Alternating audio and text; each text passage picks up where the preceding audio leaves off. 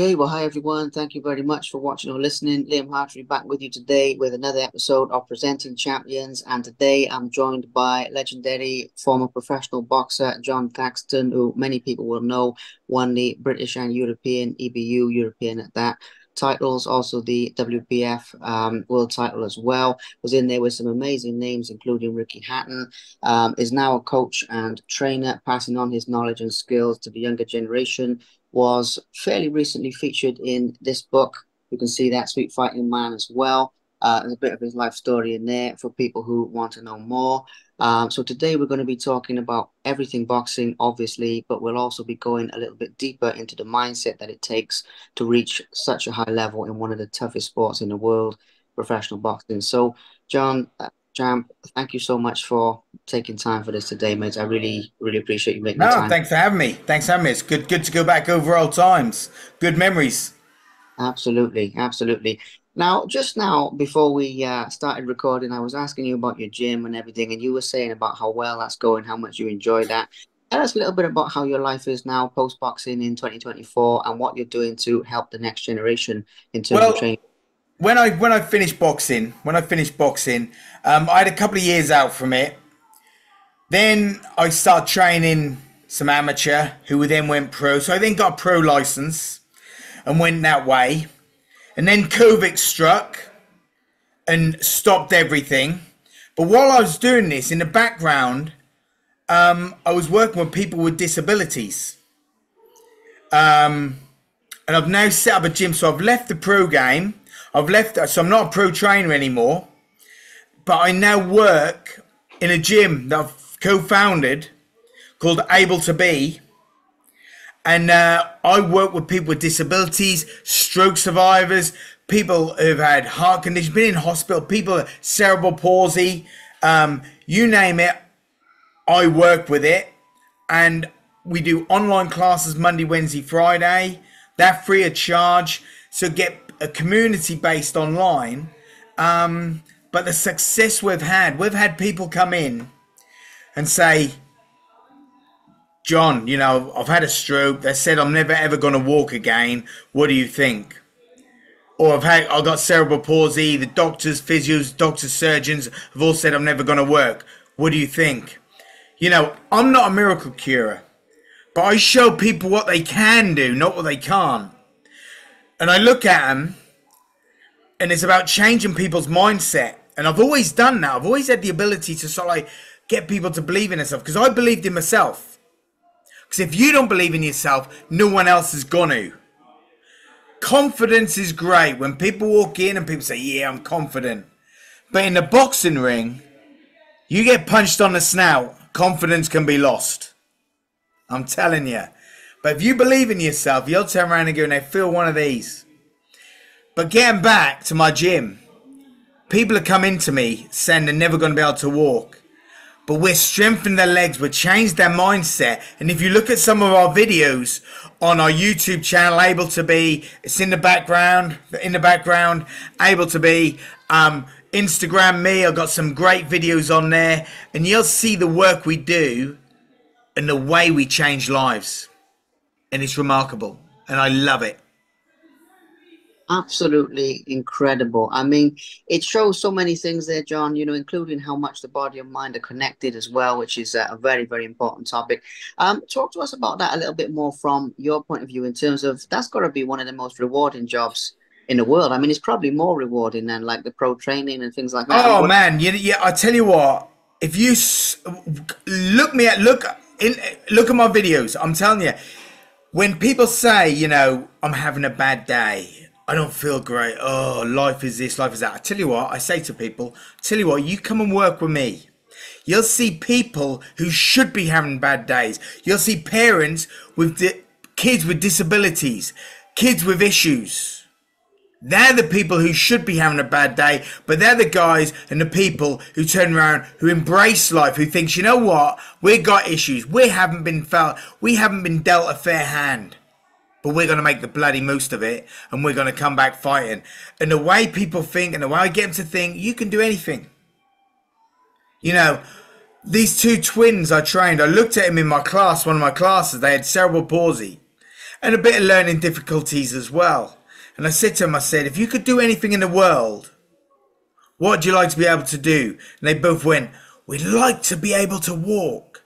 I said, I can't promise anything, but if you do my sessions, you might be able to do it. But I believe. Now, they used to love punching me in the face. They were only little, so it didn't hurt. And I didn't mind. So what I'd do is, I stood there with him, and I let him punch me in the face. And then I stepped back. Now, to punch me in the face, I had to step forward. But I was watching them in my class, and I knew they had strength in their legs. So I knew what they could do. But it's believing that they can do it. So there they were, boom, boom, boom, in my face. And I'm saying, hey, you're walking, boy, you're walking. And all of a sudden they go, oh, yeah, man. The mum's crying, they're crying, well, look at me. And I'm just standing there going, that's what I do. I'm screaming inside, but I'm trying to be cool. But I'm screaming inside because how proud I am of what we've done. And I'm passing that knowledge on to, to the people I, I work with, also my daughters. I work with both my daughters, so I'm passing the knowledge on to them. And the success my elders has had with, with certain clients, I'm so proud of her. Yeah, yeah, absolutely. Well, the fact is, a family uh, affair as well is awesome. But I'm just taking that in, to be honest, mate, because when I do the, this podcast, I have a lot of people on here who do that type of thing, whether they're in like Paralympics or they're in different mm. competitions. They've been paralyzed, they've been born with something. And it's such a powerful uh, thing when you hear the stories, like what you were saying there. I mean, I can be moved to like nearly to tears at times with some of the things people have been through. And you, you know, you got to keep a straight face. Yeah, oh, yeah you know so with that in mind then anybody who's watching this who's feeling a bit sort of well like you were saying they're feeling down they don't know if they've got a way out of their problems whether it's mental problems physical problems whatever. The, the, the thing about this is a lot of these problems can be isolating. What would you say if there's anyone listening to this who needs that dose of inspiration and you know being picked up a little bit if you get what i mean? Again, again, again i'm not no miracle worker. We all have our problems but it's how we deal with them and you know take one day at a time. But look where you want to be in in the next month. Short term goal. Where you want to be this time next month? Short term goal long term goal or mid term goal of a year. You know where do you want to be this time next year? Then have a five year goal. Where do you want to be in five years time? And every day try and do something to make a step closer and closer and closer to that that that that short term mid term long term goal every day make a step make something do something that'll bring you closer. Or and let's be fair change. Some people got to change. And in life change can be the hardest thing in the world to do because we're all set in our routines. We all get up we might clean our teeth we do this we do that we do that we go off to work we come home we have our tea. Some of us might go to the pub some of us might go to the gym. I don't know. But changing that routine can sometimes be so crazy that's the hardest thing to do. Change. Absolutely, yeah, hundred percent. I'm with you on that. Now, another thing here, obviously, we're talking about this with Able2B, and you gave a shout out earlier with the Instagram and all the different things people can uh, follow what you're doing. But in terms of if people want to contribute more actively, you know, if they, I don't know if you need like sponsors or you need people to help out at the gym, or I don't know what type of things you need, but I'm sure there'll be people listening to this thinking, man, you know, I want to give a helping hand to that. How can people do that in one way or another? Just look up Able2B look get in contact with us. And i tell you what if you look at what we do if you look at some of the some of the videos online of what we do we've got this dya event now coming up. This is a fantastic event what we do. We get SEN children disabled people with issues children working with mainstream kids. And what we do is we set a challenge a cycle challenge and a run challenge, or walk challenge. Some of them are in wheelchairs, and we pair them up and we get them to work together. Now, when when they first do that, we have three workouts, then we do the event. The first time they meet, no one wants to talk. They don't know each other. They're typical kids, and that's our job to break down them barriers, get them talking. So what I do is I use boxing. I put the pads on one person, the gloves on one, and I just teach them how to box. So then they got to start coaching each other. Well, how do you coach? By communicating, talking to each other. And then I'll take the pads off the one person, put and then we swatch. So the other person's the, the coach and the other person's the boxer, and they do the same thing. So then they've got something in common. By the second training session, they're talking, they're laughing, they're exchanging telephone numbers, they're they're arranging to go out. when they do the day, it's in the cathedral grounds of Norwich, big cathedral in the background, absolutely phenomenal. You get SEN children work with mainstream kids on a cycle. We, we make sure we've got special cycles. There might be tricycles. They might, if they're in wheelchairs, you might will have a cycle with a big frame on the front for the kid to sit, with the child, the student to sit on with his wheelchair. Everything's safe, and they cycle round by the river, up round the cathedral. And you know what? This is going to be our fourth event this year, and it's a phenomenal, so emotional day. And if anyone wants to get involved and help out, talk, you know, donate, volunteer, we're always up for some help. Absolutely, mate. Yeah, absolutely. I mean, like I say, first of all, I think that our visions of this type of align because it's a big part of the reason, or really, it's the main reason why I do these interviews. It's not just to talk about sports, but it's to give people that inspiration, motivation, and so on. But also with your organization, if doing this video today helps even a few more people, oh. even if it's for more people, then you know our work is done to realize yeah. Work. And uh, you know that's that's a big part of why I wanted to talk to you. It's not just the boxing, but some of the other work you're doing as well. We now, also do like online classes as well, so you can come in online and that's free of charge. So we keep we try and build up a community and be able to be where we can get where people can't come and see us, but three times a week we have, and some people are locked in a in a care home or in the house on their own. They might have a carer come in for half an hour a day. The only time they get to socialize and have a bit of fun, bit of banter, as well as exercise, is when I come on their screen with a load of other people as well. Oh, that is amazing. That is amazing because, yeah, I mean, post COVID in general, people are doing so much of that. Mm. And like I said earlier, or actually, like you said earlier, breaking down barriers and everything. Mm. Um, I mean, doing things online as well as in person is a great way to to break down barriers. So it's wonderful. And you know something, I've always said for years and years that boxing is a very healing sport because you, you know, yeah don't have these disabilities, even if you see like a kid come into the gym and like you were saying, he's really shy or something, he won't talk to anybody, give it a couple of weeks or a month, you know, he's talking to everybody. I mean, it's healing, you know, mental health, physical health, but you've taken that to a whole nother level with what you're doing, helping people through boxing. And I just, I love your passion for it, mate. That's not, mm, that's I, I love what we do. Love what we do. Yeah, I mean, I know we said earlier before um, we started recording, but I said choose a job you love and you'll never have to work a day in your mm. life. And uh, I mean, that is really something that you, um, it really comes off you as a powerful energy. And I just, that's not even a question. I'm just saying, yeah, that because the world needs more of that passion, my friend. Hmm. Absolutely. Um, all right then. So here's another thing for you. I mean, during your boxing career, did you plan on transitioning into coaching and helping people? And if you did, did you ever imagine it would look like how it looks now, if if that makes sense, like the then and now type yeah. of concept? Not at all. Um, I retired from boxing, and I got to be honest. The last three fights I lost. The, the third, the, my European title when I lost that, shouldn't have lost that at all. Never in a month for Sundays. It was I boxed in Norwich, defending my European title in Norwich. I felt I was a hands down winner, but that's me. But I'm an honest pro, and if I thought there's any doubt in it, I would say no. But I never lost that fight. But after that, I seemed to lose the hunger. And um, I was getting on a bit. So then I fought Tom Glover, an old sparring partner, someone I used to spar with, and outbox for fun. But when I went to the weigh-in that night, the night before, I went, I went to him, all right, Tomo, and he just looked at me, how I, how I used to look at my opponents straight through me. And I thought, oh, he's up for it. My know how, how to beat him, I knew how to beat him. But what was greater was his ambition, was his drive. He wanted it more than I wanted it. And he and he beat me.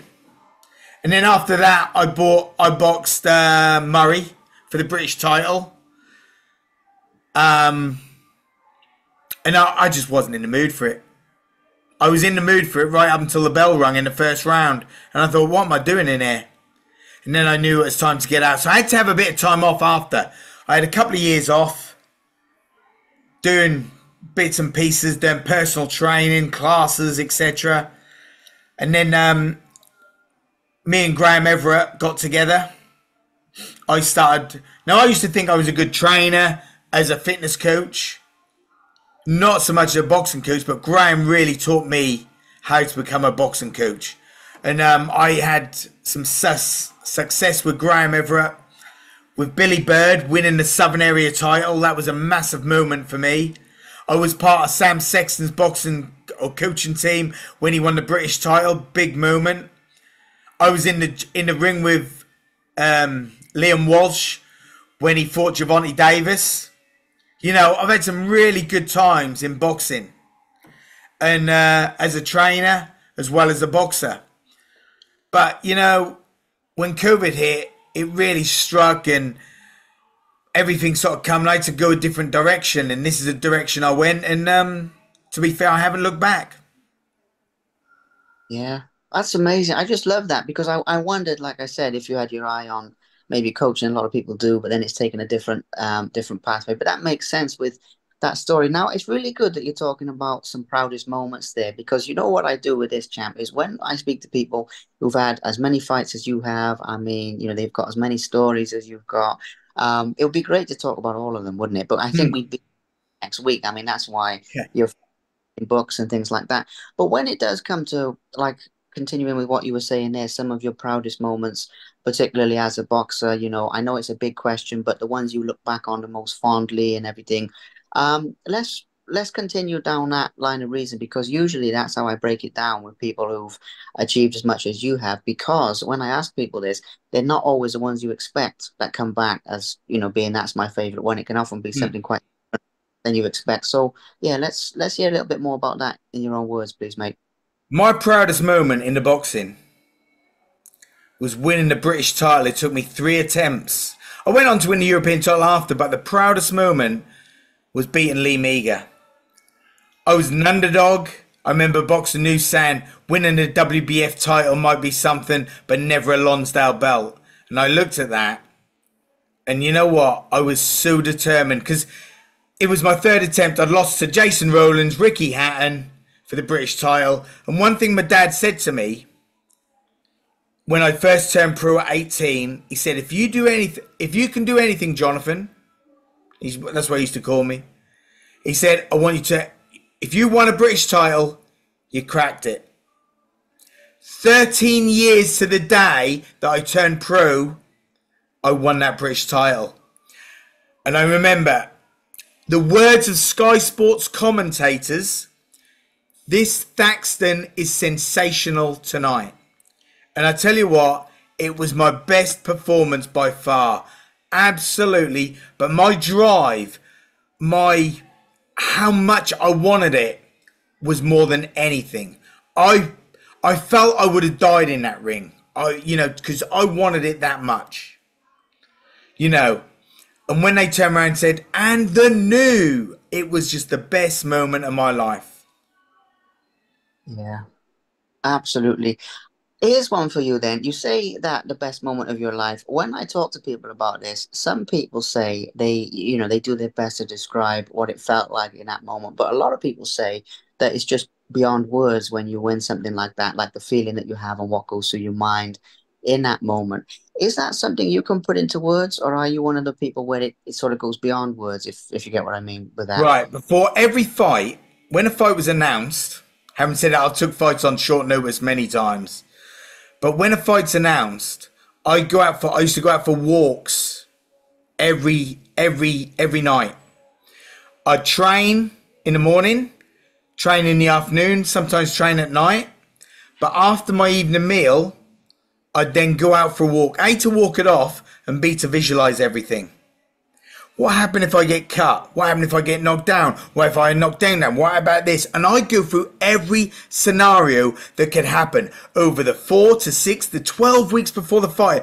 I go over everything mentally. And I come back from a walk and I'm sweating because I'm so emotionally attached to this fight.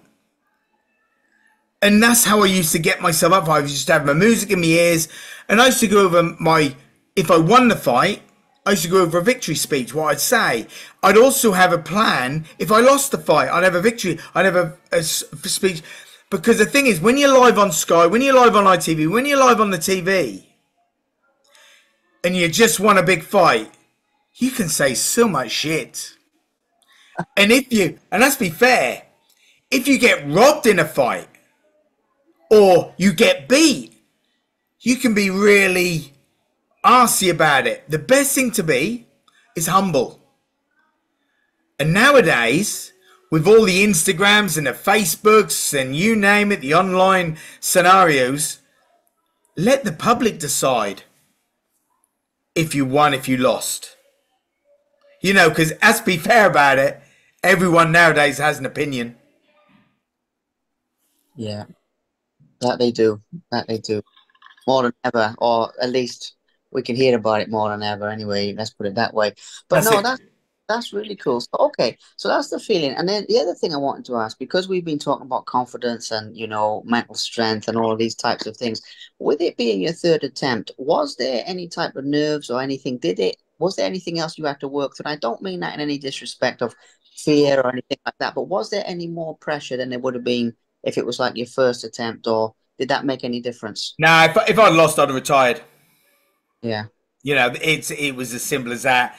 If I'd have lost that fight, I, I, I don't think I'd have just retired and and, and, and and I've been the guy who um who almost done it but never did. But winning the British title, massive, massive to me. Absolutely, yeah, absolutely incredible achievement, and uh, well, I mean, it speaks for itself. So, a couple of other ones here to give a, a mention to as well. Um, winning the European title, you said it wasn't as big for you as winning the British title, but obviously it's still a massive achievement, and especially the EBU as well, because there's these other variants that are out there. Yeah, various now. Hmm, yeah. And you know, so you know, you winning the actual proper one and everything. Can you walk us through that fight? I mean, I don't have a narrow question about it, but the same type of thing when you look back on it now, your memories from the fight and what went through your mind when you won it, that type of thing. Yeah. Good, mate. Thank you. Right. Well, I, I fought for the European title six months beforehand and got beat by Romanov. Yeah. Um, but I got beat on a cut eye. The corner stopped in the fifth round. But people don't know that cut happened three weeks before the fight. And I had a little cut there. And everyone said to me, everyone said to me, you need to pull out the fight, you need to pull out the fight, you need to pull out the fight. But I thought, you know what? I trained so hard for this. It's only a little cut. No, I'm better than this kid. I wasn't listening. I was so drilled up to fighting this kid. But when I got into that ring for Romanov fight, I I hadn't prepared properly because I hadn't done all my sparring.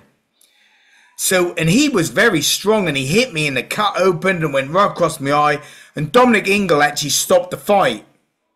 And I was bloody furious. And I thought to myself, you're an ass. I'm gonna sack you. Got to the changing room. Got to the changing room. I looked at my eye in the mirror. It was horrendous. Went up to Dominic, looked at him, put my hand out and said, Thanks very much, you made the right decision. He was there to look after me. He's there to let me fight another day. If I'd have carried on with that fight, who knows what would have happened? I could have had a lazy eye, who knows? But six months to the day, Romanov went AWOL. We got a chance against. It's gone away from me. If we got another chance. And um, we won it. We won in, uh, was it third round? Could have been third round. But I trained absolutely proper for that fight. But the thing I, li- I think I'd done right this time was listen. When I was fighting Romanov, I wasn't listening. I just wanted it. But this time I listened. I listened to everyone. I'd done everything right. I walked in that ring in Norwich. We got it in Norwich. It was a packed arena and we done it. And I, I had a pretty damn sensational knockout. And to knock him out in style for the European title in front of your hometown, not bad. Not a bad feeling at all. Absolutely amazing. I mean, it's an amazing story, no matter how many times, because you know, I've read interviews you've given with this. It's, it's always an amazing story, but also the life lessons you shared there, having the right people around you, listening to the right people. Like what you said earlier about the uh, visualization and everything. And when I interview people who've, who've reached the top, that comes up time and time again. There's a lot of little things. So I will say to our audience, guys, listen up because there's some absolute gold dust in here of things you can use in your own life, boxing or otherwise, by the way. Mm. I mean, I think visualizing whether people are starting their own business, going into their own exams, doing any type of thing that they're aiming for um, let me tell you, I'll, I'll, tell you something, and this is this is massive to me. People always tell, ask me, "How many fights did you win?" So I tell them, I say, "How many fights you lose?" I said, "I never lost a fight." They said, "What do you mean?" Yes, you did. I said, "No, my L was always the learn. I won and I learn. I only lost if I didn't learn." Yeah. Wow, I love that. I love that. That's uh that's a good one for life because you know you, you have to take the fear of failure and you have to take these hmm. things mm. out of there you know because as you say you learn a lot more i mean i've heard people people have told me like with boxing and with even other things like this with kickboxing mma whatever that they've learned more from losses sometimes without a doubt well, you, yeah. you know if, if you do everything right you're never going to learn and if Absolutely. you're knocking everyone out what are you learning from that and and nowadays people are always protecting the o Oh, I don't want to get beat. Uh, listen, I got beat on my, I think my eighth fight, and I was beat, getting beat throughout my career. But it didn't make me a worse boxer. It made me a better boxer. As long as I went back to the drawing board and thought, why did I lose that? But equally, when you win a fight, why did I win that? You know, it's okay reflecting on your losses, but reflect on your wins as well. Don't take your wins for granted. You know, because there's a lot of work and time and effort and coaching that's gone into that. So let's turn around and think, right, we won that fight because of X, Y, and Z. Well done. We need to do that again, plus some. Absolutely, yeah. 100%. 100%. Great outlook on it. Um, as well as that, you know, with your fight with with Ricky that we mentioned earlier, Ricky Hatton, and yeah. it's one of the known ones we can talk about the fight itself a little bit if you want, but I'm also curious as like post fight. Have you seen much of him? Do you keep in touch with him? Um, work with him again after that? What like that? Type? listen, we know if we see each other, hello, doing? Picture, hug, da da da. There you go. We've had we've been to the same dinners together. I sat next to him and this and other. Ricky was a phenomenal talent, let's be fair about it. And let's be fair about it, I got lucky in the first round. The first round, I hit him with a right hook, split his eye open, thought I'd won the lottery. Second round, the victory speech was all sorted. Third round, the mortgage was paid. But that's life, innit? You know? He went on, he went on, he had a good corner, and um, we had a hell of a fight. And I'm very proud of that fight. And when I say about my best performance was Lee Meager, my best fight that I enjoyed most was the Ricky Hatton fight. I loved it in there. I trained so hard for that fight. He was a body puncher. So I had to prepare for that. Physically as much as mentally. So I used to do 5,000 sit ups a day for that fight. Yeah. 2,000, 2,000, 1,000 before I went to bed. And then you turn around and think, you know, when people turn around and say, Oh, I've had a hard day at work. I said, Yeah, me too you know, 5,000 sit ups. But every time he hit me to the body, I thought, you ain't getting me. You're not getting me. But he had to protect his eye. And let's be fair about it, that eye kept me in the fight. And we went, we went 12 rounds. He beat me. The best man won. A lot of people say to me the fight should have been stopped. Should it have been? Listen, I'm glad it wasn't because it, it is remembered for the war and the blood that it was remembered for. Yeah, it was absolutely that reason. People still talk about it now so much, just, you know, the action packed nature mm. of it, what Ricky's gone on to achieve. I was just curious. I mean, I've met him once, worked with him at one of the after dinner events, and he, you know, seemed like a lovely guy. Mm. And it's just one of those. Uh, those sort of boxing trivia type of things people love to know about. Um, as well as that, though, a couple of other things. Obviously, the sport of boxing, since you've retired and in recent years and everything, it is changing um, quite a bit. I mean, you mentioned about people keeping the O there. Obviously, at the moment, we are having good fights made, like we had the Undisputed recently and different things. Yeah. But your thoughts on the good and the bad of the changes in boxing since your day, I think would be a really good topic. It's probably too big a topic to talk about everything, but if there's a couple of things we could mention on either side, I think yeah. that would Darren, well, let me just say goodbye to my daughter. One. See you later. That's my daughter. All right. See you later. Fine. Love you. Um, right. Um, the boxing's changed now from when I when I was about. I remember Brendan Ingle would turn around and say, "Jono, I've got your fight," and I'd turn around and I'd just take the fight because that's what I'd done. Um, nowadays, these people, these sometimes people just having a few fights had, had one. They're on the second or third fight. They're fighting a four rounder. They want to go into camp. Camp? What's that about? I was always training. I didn't need a camp. I said, where are you camping? And then after the four rounder, they then want to go on holiday. And I think, come on, guys, sort it out. You know, then you got the Misfits boxing, and you've got KSI earning millions and millions of pounds, and who's it? Jake Paul earning millions and millions of pounds. And come on, that they haven't got the background. That's just my opinion.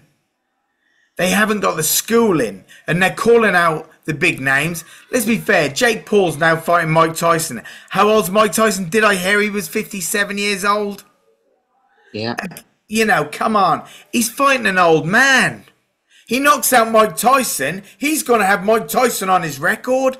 Come on, that's not fair. It shouldn't be allowed. Mm. Yeah. Come on, you must have some you that you know. But again, let's be fair. When I was up and when I was the up and coming and that boxing, what I felt is what what it should have been. Now I feel boxing's a business. Let me get a little bit controversial here, and I do. I hope I'm not going to upset anyone because I don't want to. I'm not into that game anymore. Saudi Arabia, right? Eddie Hearn, Frank Warren never spoke to each other. Saudi Arabia come in with the money, and they're best of mates. You Yeah. know, it's just money it is a business nowadays, and and let's be fair about it. The best thing that can happen is Eddie Hearn and Frank Warren getting together. Because look at the show they're going to put on on Saturday night. Absolutely. Yeah. But it should have been done a lot long time ago. How many fights have we missed throughout the throughout the years? How many fights we missed because these guys were not talking to each other? Uh, yeah. Too many. I think. You know. yeah, Too many. we've lost too many. Or they happened too late, which is the other thing as well. Yeah. You know. But, But, you know, if you if you had when when you got this Turks money from Saudi Arabia's money, man, I, I don't know what they're paying, but I tell you what, it must be good. Yeah, yeah, yeah. I mean, it's it's crazy. In that side of things, it's been a bit. It's been a breath of fresh air because you know. Of course it has. That side of things it has, but it should have happened a lot, lot time ago. When you look at the Saudi Arabia side, brilliant. When you look at the Misfits boxing side of it, I'm not happy, not good. No, I, I agree with you 100%, mate. I mean, the thing is, it's like with all of Jake Paul and all those sorts of people. I mean, you know, if, if people want to have a go, that's fine. But at the level they're doing it with the publicity, with the money, with all this stuff, not having a background, I don't agree with it. I'm on the same page as you. Yeah, Um, yeah, with the Saudi, I mean, two sides to it. On the one hand, personally, I'm glad it's it's happening now, but at Yes. the same say it's quite late in the game because at one point, you know, as a boxing uh, journalist, as a boxing photographer, interviewer, and I will just say as a boxing fan, or, uh, because I enjoy the sport, that's why I work around it. You know, it was looking like okay, this sport really is broken, and then at least now they they are making some repairs. But as yes, you late in the game and getting rid of the old protecting the old thing as well, I think, because I mean, looking back to history, other than like Mayweather and Calzaghe and a couple of guys, all the greats have, have lost fights, and it doesn't make them any worse. In fact, it makes them more exciting. You know, I mean, if Muhammad Ali had won, uh, you know, like with Frazier and these, so if they if they just won against these guys easier and they didn't have the comeback, and you didn't have, you would never have had some of the stories. I mean, No. if you lost your British title, it wouldn't be as exciting a story as it is when you won it on the third time. You know, I yeah, that's- yeah. Know what I mean? Because that's an amazing story, perseverance, sticking with it. I mean, I'm sure it wasn't fun for you at the time to, to lose the first two, you know what I mean? But it but it also makes the boxing story, in my opinion, better because then in a way you can be more interested sometimes if it's the third time, thinking, well, or the second time, is he going to do it this time? What I'm trying to say is the loss doesn't take away from anybody. So it's uh, really interesting, really big topic. Um, a couple of other things. Your advice for specifically for um, the up and coming boxers now, whether they're amateurs, whether they're just turning professional. We've touched on a couple of things through this. We're visualizing, we've touched on a strong mindset, we've touched on um, listening to your team, some very good things. Are there any other things you would say to any of those who are listening to this? Because I know there's a lot of those guys that follow uh, my channel and everything. So I think it would be good to get a little bit of knowledge in there as well for the up and coming, the young guns in the game. Listen to your coach. They know the hardest the hardest job in boxing to me is being the coach. Because you're the first in the gym, you're the last out.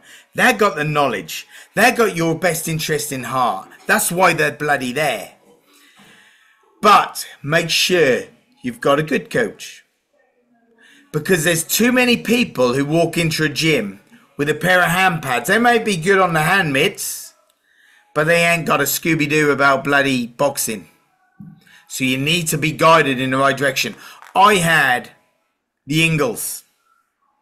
I had Graham Everett. They are very passionate people.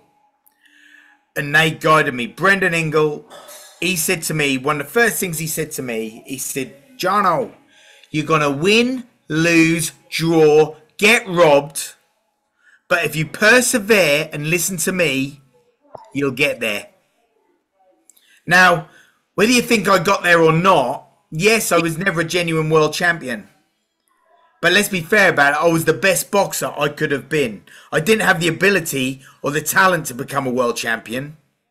I didn't really have the ability or talent to become a European champion. But I tell you what, my hard work, my dedication, my discipline, to beat me, you had to kill me at my best. And that's what made me into who I was.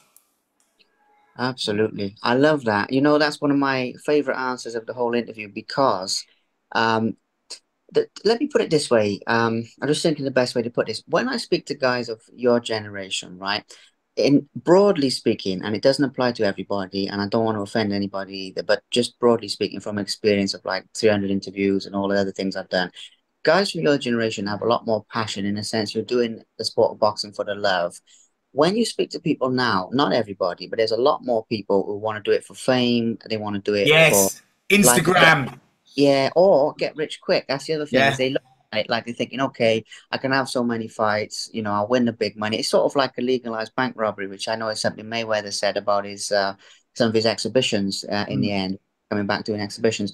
And you look at that and you think, okay, well, look, everybody wants to make money. I mean, that's fine. But at the same time, when you're looking at it purely from that level, I think it takes away from the from the sport. It takes away from the choices people make in the sport, and not only with boxing, but for people listening to this, doing things for the love, like what you just said there, will make you a lot happier in the end than mm. doing just for the money or just being famous. I mean, what do you think of what I'm saying there? Do you think I'm on the right track with it? Of course, you're on the right track. A lot of people do it for the wrong things. A lot of people do it just to put stories on their Instagram, their Facebooks, back in the gym training, fight. I I I, I used to train a guy called I, I used to train this guy, and all he does now is put on on Instagram. Oh, another hard day at the gym, another hard day at the gym. Let me tell you, this guy's never going to fight again. He's he's give up his license. He's not even a pro license holder. And there he is. He's still because he had he's unbeaten, but he didn't fight anyone of any caliber. But he was unbeaten, and now he's turned around. He's he's like what I call an Instagram fighter. All he is is posting stuff on Instagram, in the gym again, in the gym. So I always make a comment. Was there some exciting news to be announced? Is there?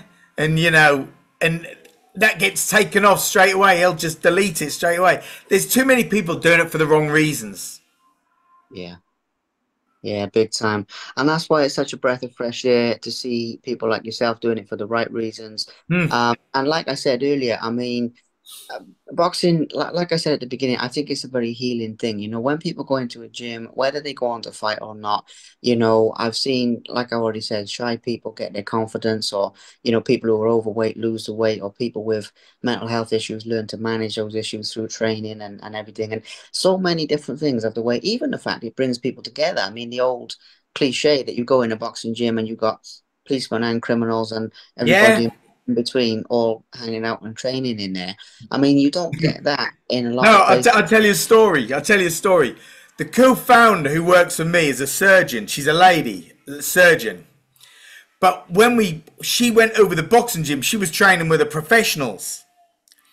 No, she weren't training with the professionals. She was training with some, just some people who want to get fit, some scrappy guys, and they were some rough dudes. And they were one was hitting one side of the bag, and Rachel was hitting the other side of the bag, and they were boxing. And I said, "You two have got something in common." And this guy looked at me with to say, What have I got in common with her? I said, You cut people up, but she does it illegally. She does it legally because she's a surgeon. I said, She does it legally, you do it illegally. But there they were, boxing together on the same bag. It brings everyone together. You know, you know, whether you're there, whether you're there, whatever pecking order you're in, you're in the gym smashing a bag, all working for the same outcome to enjoy it, to get fit, to have fun. Yeah. that's a great story, that is, my friend. I love that. It's funny, you know, it brings together all works of life, whether, you, whether you're swimming in money, whether you ain't got a pot to piss in. Yeah. That's Absolutely. That is boxing. So, last couple of things before we uh, before we wrap this up. Last couple of things I forgot to ask earlier, and I just want to touch on this very briefly. But you actually had a background in kickboxing or something. Yeah, like yeah, yeah. Before... I had sixty kickboxing fights. Sixty kickboxing fights, full contact. Wow. Fifty-seven and three. Yeah, I because I remember reading a story about one of your fights where you had uh, the kickboxing belts in the ring, uh, yeah. And I think it was Mickey Duff was shouting, "Take them belts off!" Yeah, I tell you, brilliant. So Dean Hollington, double ABA champion. I got two weeks' notice, a lifetime to me. Brendan said, "I got you this fight, Dean Hollington." I said, "Okay." I, I spoke to Brett Graham about it because Graham has always been in my boxing career, whether he's been in the background or right at the front. But early in my career, he's just in. He was just a friend. I used to phone for advice. I said, Graham, this is before the internet and uh, the forums and everything. I said, Graham, I've got, I've got a fight in two weeks. He said, who you got? I said, Dean Hollington for the vacant Southern Area title. He said, uh, he said, don't take it, Jon. Don't take it. I said, why? I said, he's a double ABA champion. He's 14 wins and one loss. I said, that's only your fifth fight. I said, Graham, I just want to fight. I want to fight and I'm getting two thousand pound. so I turned around. And he said, "Well, no problem." So when it come training up for it, Brendan said to me, "Jon." I want you to put your kickboxing belts. I want all your kickboxing belts under your coat. We're going to cover you up. And then when you're announced, we're going to uncover them. And everyone's going to see your belts. I said, no, Brendan, we're not doing it. We're not doing it. He said, Jono, we're fucking doing it. So I said, okay. So we sent the belts. I belts, belts, belts. Got in the ring, and this was Dean Hollington's face. I took my belt off, and he went to his training team. I'd got him there mentally. When you beat someone there, beating them there is easy. So all of a sudden, first that's my th- first not knockout win. Everything else had been on points and I beat him. I knocked him out in the third round. And then I phoned Graham up the next day. This is because he didn't, there was no TV about it. So I said, Graham, go, uh, I said, Graham, he said, how'd you do? I went, three rounds. He went, never mind, Jon, you'll come back. I said, no, I knocked him out in three rounds. oh, that is brilliant. That is brilliant. I knew the first part of it with the belts in the ring and everything, but I yeah. didn't know Mickey Duff went mental. Mickey Duff went mental. Oh my days. That is a story. Like I say, I meant to ask you at the beginning, and I just thought, oh, actually, we got to get that one in. So, the last thing, really, obviously, you're you're training these people, and you're helping people, and you're living your best life, and all of this side of things, and you're doing amazing. Obviously, um, you are remembered very fondly as a boxer, as I mentioned at the beginning. By the way, guys, check out this book. It's, it's an amazing book. There's like, some great interviews in there. Um, but how do you feel about your boxing legacy in terms of the respect and the love and you know the way people still talk about your fights now? Because not a lot of guys have it like you have it if that makes no, sense. no I, I, I, to be fair if anyone talks when people talk to me about boxing depends where i am i get very nervous. Very, okay. it's very strange and, I, and I, I get very anxious. Um, but it is nice that you you contact me that you still want to interview i've been retired 15 years now so it's nice i'm still remembered but I do get very uh, shy and very, and when I'm out and about, I do get very shy about it. Yeah, that's interesting. But, I mean, guys, a few guys have said that to me. Sorry, Carrie. I'm just hmm. yeah. No, no, like I say, but depends where I am and who I'm with. But if if if I do get stopped or recognised, it is oh, yeah that people say, "Are you who I think I am? Who you think?" I, and I'll, I'll always turn around. I say, "Does the person you think I am owe you any money?" because I try and break the ice. And they go, no, no, no. I said, oh, I might be then. Uh, when the ice is broken, it's fine. But before that, I, I get very nervous and anxious. Yeah. Well, it, you know, it must be it must be strange though. I mean, when people just approach you out the blue, and I, I know you, I know people get used to it, but a few guys have said that to me actually, mm. quite a few guys, and I've always thought like, you know what? Surely if you can get in the ring and, and fight somebody, Different. surely that bother you. But I do also get how I, you know, I get the, the situation of uh, of that. But that is that is very cool. And my last question, then we'll wrap this up, is yeah. Would like to thank. is probably a very long list, um, so I don't want to put you on the spot to miss anybody. But obviously, you've mentioned uh, the Ingles, you've mentioned people who've helped you on and off through this. But before we wrap this up, is there anyone else uh, living or passed away or anything who's helped you to fulfill your dreams that you'd like to give a mention to before we uh I tell you what I tell you what I'm going to mention a couple of people I mentioned Graham Everett because we we mentioned Ingles Graham Everett he he's the one who brought me back from um, retirement uh, um so Graham Everett without him I wouldn't have won the British European title not a chance. So Graham Everett renowned renowned trainer. But my mum and dad they were there from the beginning um, from the minute I wanted to do kickboxing to boxing, um, my mum used to sell all my tickets. If my mum was around now and she's seeing what I do with the disabled kids and the adults, she'd be so proud. Everyone says to me, she's watching you, she's looking down on you. But I just wish she could see it, and I wish she, you know, she was there for now.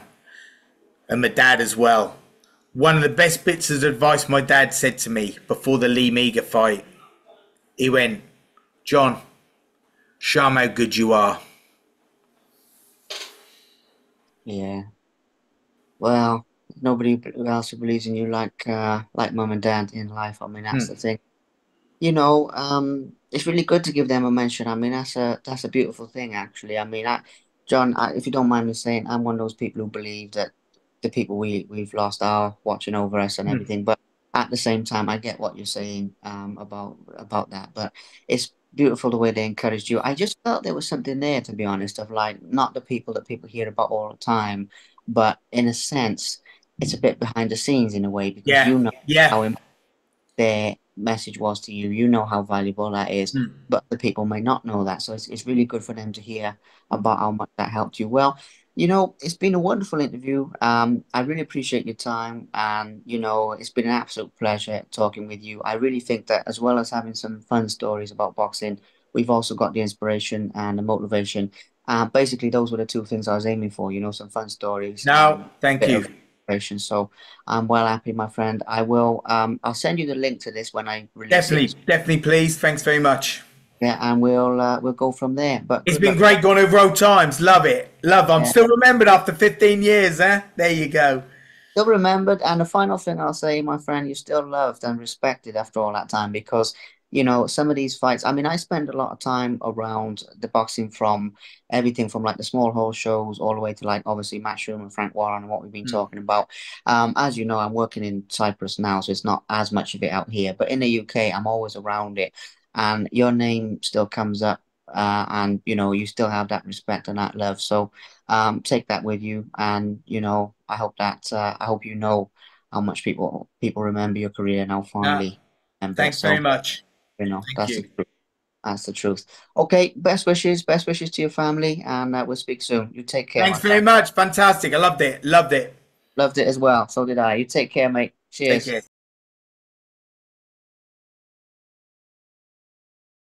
Thank you very much for watching. Um, please subscribe to the Simply Inspired YouTube channel and there'll be more videos coming soon.